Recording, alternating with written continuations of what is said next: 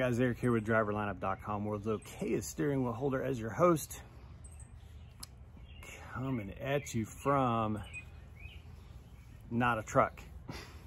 We're getting ready to leave. Uh, it is Saturday morning. We'll leave either tonight or tomorrow. And this will be our final couple weeks in the General Flynn. So we're really excited about getting our new truck. Um, and I just wanted to give you guys a quick update this morning uh, talking about freight lanes and addressing a question uh, that came up in the last video. Now, I've come to realize that there's a couple prime drivers out there, maybe even one, on, one or two on YouTube, uh, who seem to think that I shouldn't talk about freight lanes and specifically the freight lanes that I like to run and have basically suggested how I should run my business. I want to make something clear for you guys my business is I do everything that I do to make my business successful. And I do everything that I do on YouTube to help others make their businesses successful. And in order to make my business successful, I need to also learn from all of you guys. And it's kind of this collaborative environment, right? I'm not selfish on that. Um, and so I'm going to continue to do that. And if someone's going to be upset about it and try to tell me how to run my business, that's a slap in the face. Don't tell me how to run my business. If I want to share information about my journey with Prime Inc., I'm going to share it. And if you don't like it, don't like it. I, someone telling me they don't like what I say on YouTube is nothing new. this is part of the pains of growing on YouTube is there's always going to be someone who doesn't like something you say it is what it is. I ain't changing nothing. Don't try and tell me how to run my business. What I do is my business. What I choose to say on YouTube is what I choose to say on YouTube. Don't try and tell me how to run my channel. I don't try and tell anyone how to run their channel. Don't go out there lashing out. I'm not going to mention names. I'm not going to start no YouTube drama. I just like to share information. And by doing so, people share information with me. The second thing I want to say on these freight lanes is prime turn down is currently turning down or rejecting more loads than we book. In fact, a couple weeks ago, uh, I think it was said that flatbed rejected like 13,000 loads, something crazy. So if I sit here and mention that my favorite, some of my favorite freight lanes exist in four states, I don't say what customers, I don't say what cities.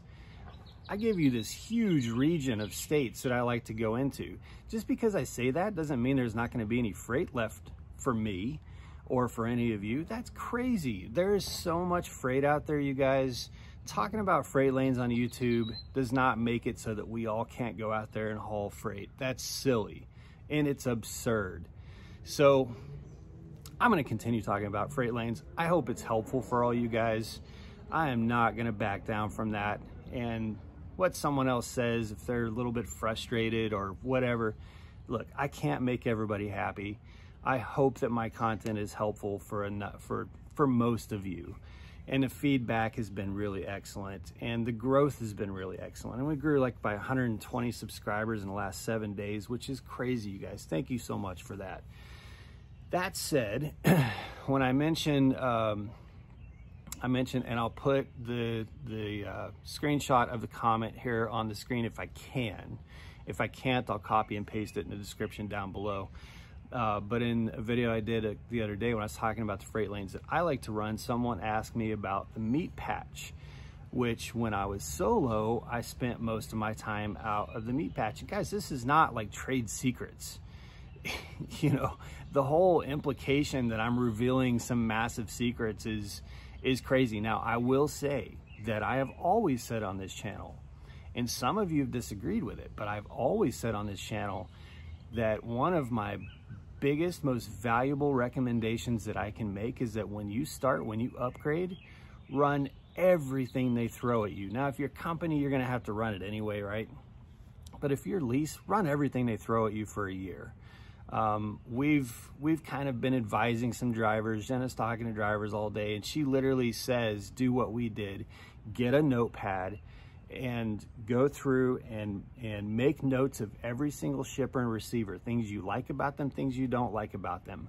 Heck we even make notes on rest areas because we have a dog. We make notes on everything. We make notes on walmarts. We make notes on hotels with parking. We make notes on veterinarians that we see going down the road where there might be somewhere to park nearby in case of an emergency that was extremely valuable and and I've I've talked about that before on this channel too. It's not the first time I've said that. I said that months ago.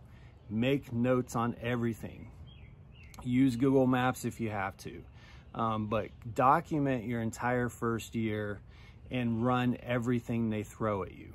Um, that that was extremely valuable to me because, like I've said before, it taught me where I wanted to run, why I wanted to run there. Um, what places I don't ever want to go to again and what places I wouldn't hesitate to go to. Um, but of course, as I said in the in the video yesterday or day before, what what lanes we run as a team, Jenna and I are much different than what we ran as solo. And the question was, what is the meat patch? The meat patch is, I think I mentioned like a month or two ago, I had read this book called Dodge City, uh, which is a fascinating historical book. Um, if you don't like getting like deep down into the mundane details of history, it may be a difficult read for you because it gets way detailed about Wyatt Earp and all those all those lawmen of the western frontier. But they talk a lot about the cattle drives and buffalo hunts and all that. And a lot of that occurred through Texas, Kansas, Oklahoma, um, even up into the Dakotas, uh, uh, Iowa, um, gosh, Nebraska, Wisconsin, Illinois, so and and Missouri. So those states that most of the cattle drives hap, uh, were happening through because all the cattle drives had to get to where there were trains and major trains went through Kansas. So a lot of the cattle drives were going towards Kansas so that all the meat could be processed and put on trains and shipped out to the East Coast where the bulk of the population is. Well, even today, most of the beef plants are still in that area, north to south. That's the meat patch. So, uh, of course, in Kansas, you got your your uh, Cargills, your National, JBS. Um, those are primarily in Dodge City and Liberal, Kansas. Um, in Oklahoma, there's a couple beef plants down in Texas and Amarillo area. And in that region, there's beef plants. Um, you've got some in uh, Nebraska, Iowa. There's a JBS way up in the way up Green Bay, Wisconsin. Uh, I believe Minnesota, maybe South Dakota uh, St. Joseph area of Missouri. There's certainly um, good meat loads. And in Illinois, there's some meat loads, although Illinois is more poultry, so be more chicken. But that's basically the meat patch. So um, when you hear someone reference meat patch, it's basically the whole beef line, you know, the the the, uh, the cattle line. Now there's chicken. I've said this before. There's chicken like everywhere. I've picked up chicken loads in Phoenix and picked up chicken loads in Georgia and everywhere between. There's chicken everywhere. But beef is primarily in that beef, in that meat patch. So that's where I found a lot of my solo loads, and that's where you will too. Again, this is not a trade secret. You're going to be sent into the meat patch. You're going to get meat loads. There's tons of them. And the reason they work so well for solo is because meat comes frozen in those trailers and it stays frozen so it doesn't have a short life like produce. Produce are mainly team loads because tomatoes, you know, they got to get them on a shelf fast. So those tomatoes have to get to the to the customer as absolutely quick as possible. Every hour that they're on the road is an hour less that they can be on the shelf. Meat, you can take an you can take a week to get steaks from point A to point B and they're perfectly fine because they're frozen and that's why a lot of those meat loads work so well for solo drivers. Um, so that's when I was solo, you know, I'd always try, and again, you only have so much control unless you're just saying no to every load, which I don't recommend. But I'd always try when I had some control over it to be directed back into certain parts of that meat patch because they pay pretty good. They're pretty good loads. They have they have um, just the right amount of time on them generally, so you're not just busting your ass, but at the same time you're not wasting time. And they're great loads. So that's what the meat patch is. Um, hopefully that helps answer that question.